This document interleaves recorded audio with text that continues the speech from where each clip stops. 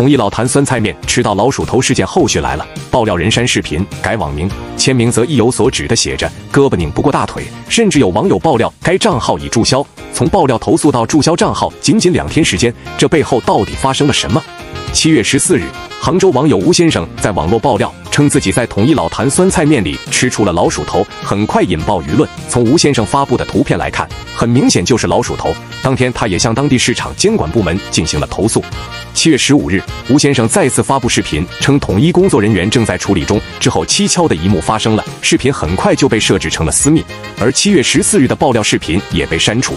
更耐人寻味的是，吴先生将账号名改成了“米奇没头脑”，而签名似乎意有所指，胳膊拧不过大腿。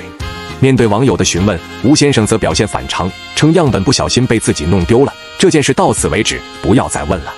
之后，据网友爆料，当晚“米奇没头脑”这个账号就注销了。我去搜索了一下，同名的有三个，第一个 IP 显示四川，而吴先生 IP 是杭州，后面两个粉丝才一百多，显然这三个都不是吴先生，所以他很可能确实注销了账号。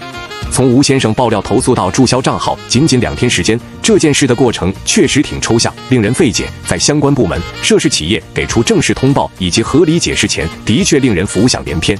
其实这件事从一开始就比较有争议，舆论分为两派：悲观派和质疑派。悲观派表示，康师傅用脚踩，统一出鼠头，这老坛酸菜面以后还能吃吗？而质疑派则更细心，他们对爆料人吴先生提出了质疑，说那么小的酸菜包是如何装得下那么大的老鼠头？即便装得下，酸菜包也得鼓包，吴先生难道就看不见吗？